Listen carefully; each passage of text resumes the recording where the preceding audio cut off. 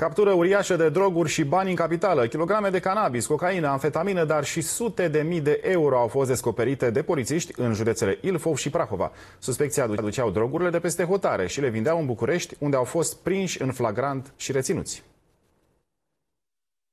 Cinci membri ai unei grupări specializate în trafic de droguri au fost arestați de polițiști în capitală în urma unui flagrant. Unul a fost capturat în timp ce ar fi transportat un colet în care se aflau aproape 10 kg de cannabis în sectorul 6. Ulterior, anchetatorii au prins în sectorul 4 o femeie care avea asupra ei cocaină. Imediat, ofițerii antidrog au descins în București și în județele Ilfov și Prahova. În urma a șase percheziții au fost descoperite mai multe kilograme de cannabis, cocaină, dar și alte droguri de mare risc. Totodată au fost ridicate 11 11 telefoane mobile, diferite materiale și recipiente folosite pentru ambalarea și transportul drogurilor. Suspecții nu au putut justifica peste 200.000 de euro și 100.000 de lei găsiți în locuințe. Potrivit procurorilor de ICOT, indivizii aduceau drogurile din Europa și le vindeau în București. Pe numele celor cinci persoane arestate a fost deschis dosar penal pentru trafic internațional de droguri de risc și de mare risc și constituirea unui grup infracțional organizat.